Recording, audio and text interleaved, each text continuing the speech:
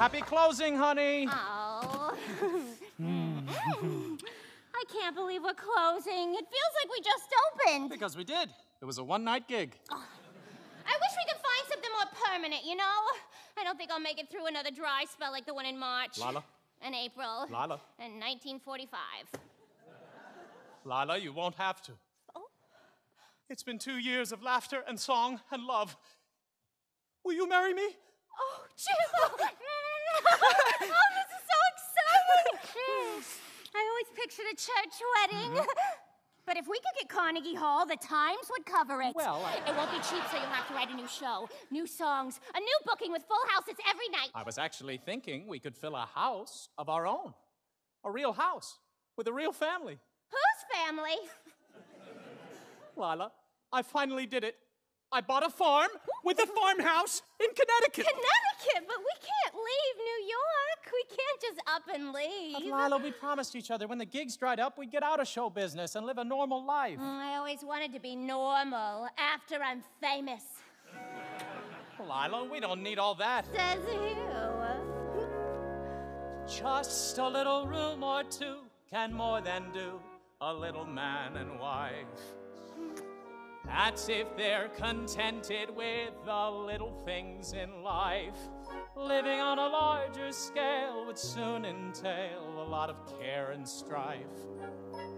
We could be so happy with the little things in life.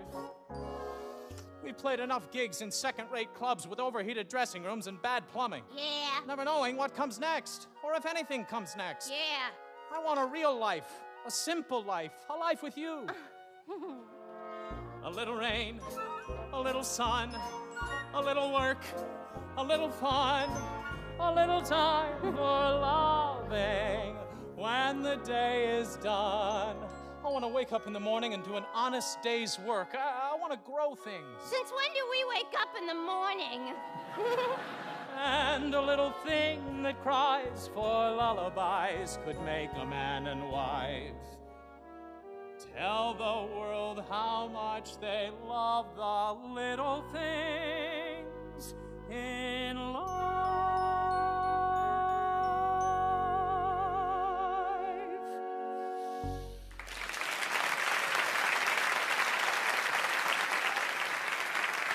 Oh, hey they are. Jimmy, listen to this. Great news, boys. How did you know? How did you know? How do they know? How do I know what?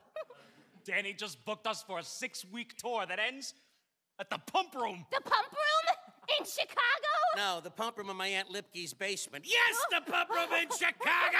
We're halfway to Hollywood. This is so thrilling. But We'll need new routines. And a spotlight devoted to me. And 10% devoted to me. And new falsies devoted to me. Sweetheart, you might not have time for all that. You're filling in for Red Skelton, who's laid up with kidney stones. That's horrible. I'll have to write him a thank you note. On the train, we're leaving tonight. I'll telephone Mother and tell her the big news. Uh, which big news? Which big news? Jim, have you not been listening? Yeah, that's all I've been doing. But I have bigger news. Lila and I are getting married. Married? Why would you get married? You seem so happy. Jimmy, that's great. You finally asked And I her. want you to be my best man. Of course.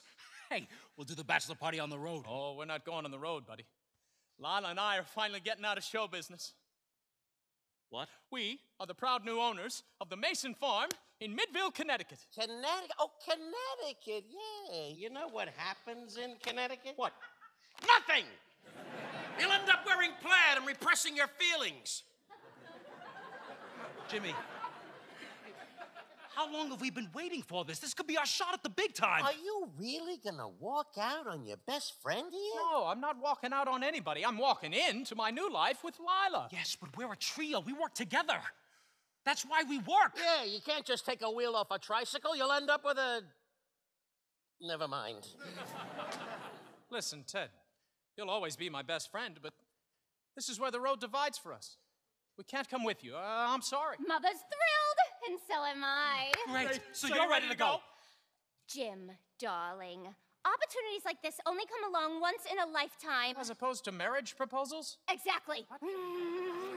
Come on, it's only six weeks. But we have to be in Midville tomorrow. The bank needs us to sign papers and take ownership, or it goes back to auction. I don't want to lose this place. Okay, so what if you go claim the farm and let Ted take Lila to Chicago? No, then it'll just be the two of us. That's perfect. All the focus will be on me. Hey, On us. it makes sense, Jim. I'll do this one last gig and then join you at the end of the summer with a few extra paychecks to feather the nest. Six weeks. Beautiful! Well, that's settled. Well, come on, let's go. I still gotta buy your train tickets. Jimmy, I'll see you soon. I'll miss you, buddy. You too, pal. Bye, Dollface. Bye, Dollface. Bye, Dollface.